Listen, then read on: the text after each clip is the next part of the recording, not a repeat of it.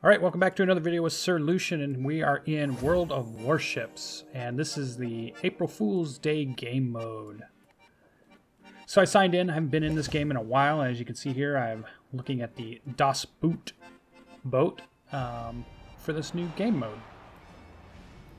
So we're going to jump in and see how this goes. Now, every year, uh, Wargaming does a really funny um, April Fool's game mode for their games typically. So uh, very similar to Gaijin, who make War Thunder, do the same thing. And I'm to have a video on what they did too.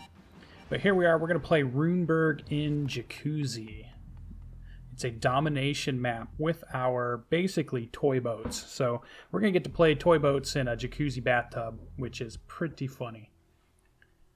So once we load in here, you can see uh, typical map over there. It looks like we have, what is that? One, two, three, four, five, six, seven, eight per side.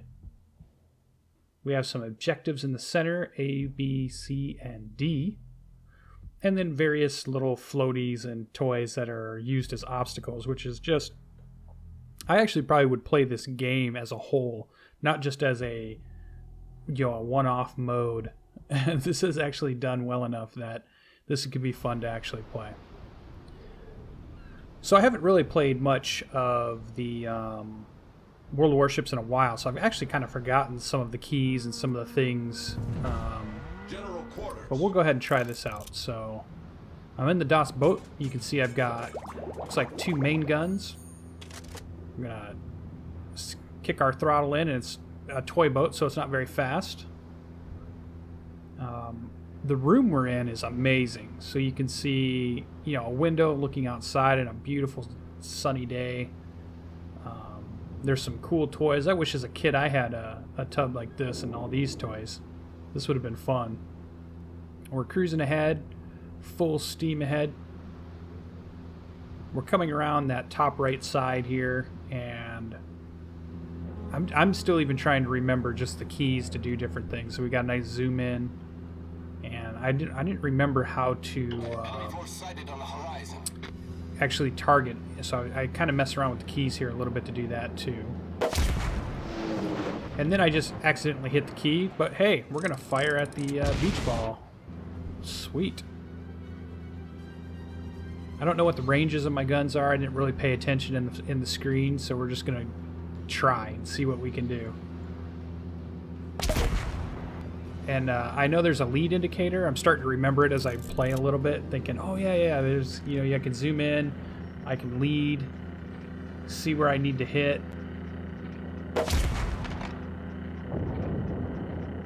I keep trying to blow up that beach ball.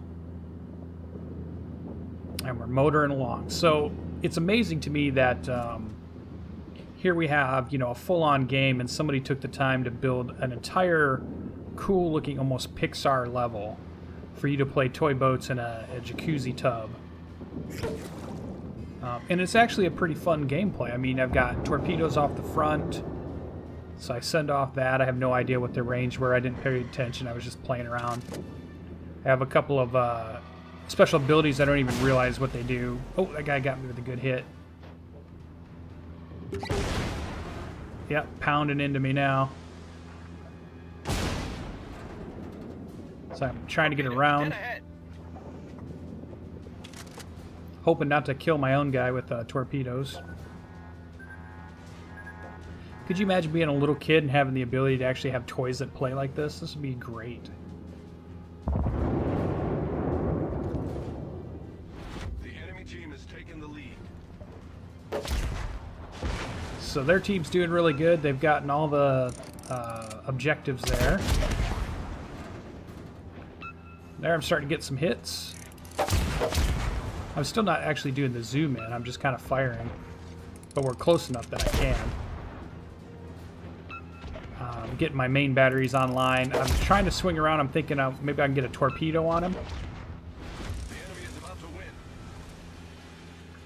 But I, I yeah, you gotta take a little practice understanding how fast the torpedoes are and where to fire them off. And I think I missed on these a couple times.